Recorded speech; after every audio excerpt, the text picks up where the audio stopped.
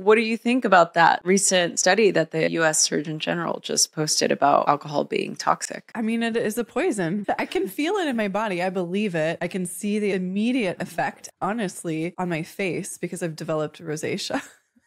which is like so cool. I love it. So rosacea is like a skin condition where the outermost layer of your skin is compromised, so you don't have a Mm-hmm. protective barrier, and that's directly related to your gut health. And because I've been through several rounds of antibiotics this past year from surgery and from being sick, my gut is already compromised. Like my gut bacteria has been like, wiped out multiple times. So it's not a surprise to me that rosacea would develop after something like that. So I'm just having to be like really mindful about what I'm eating and trying to eat clean, which is something I do all the time anyways. And mm-hmm. I've had my vice, which is wine and chocolate and coffee, which are so acidic and it just shows right up on my face. Anyways, I've let go of wine for the most part, but I'm learning to have that relationship with it where it's like maybe once a month and I'll go out with my mom and we'll have Yeah. wine together. So that's been actually really nice to feel like, oh, I can do that. Oh, I can just let it be this occasional thing. I don't have to have it daily.